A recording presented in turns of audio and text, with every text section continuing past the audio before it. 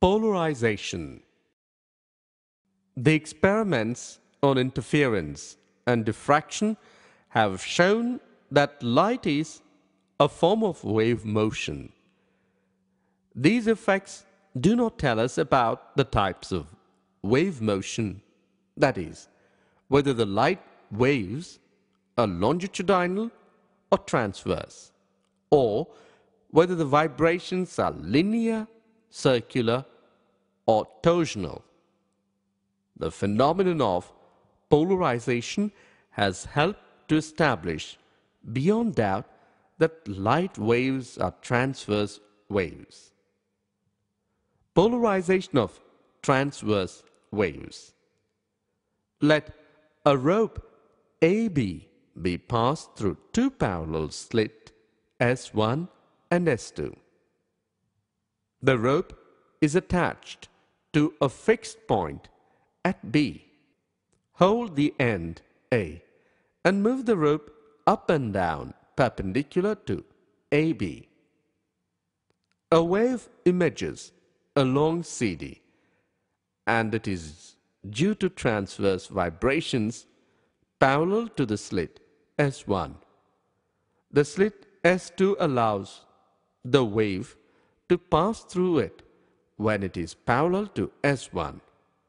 It is observed that the slit S2 does not allow the wave to pass through it when it is at right angles to the slit S1.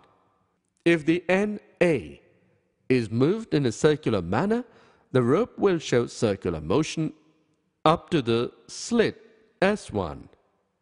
Beyond S1, it will show only linear vibrations parallel to the slit S1 because the slit S1 will stop and the other components.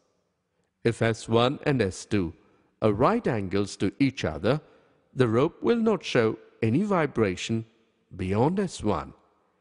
If longitudinal waves are set up by moving the rope forward and backward along the string, the waves will pass through S1 and S2 irrespective of their positions.